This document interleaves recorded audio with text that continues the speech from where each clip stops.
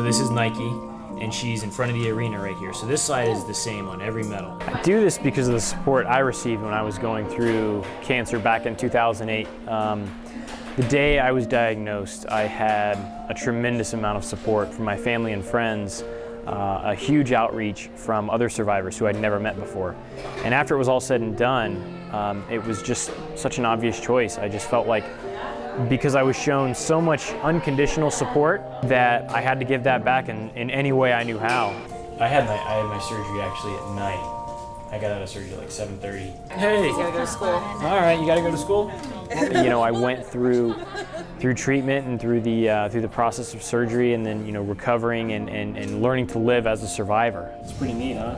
Slide it over your neck here. Let me help you out. I mean, I see these kids who are fighting this on a day-to-day basis and have to uh, spend the amount of time they do in a hospital. There you go, buddy.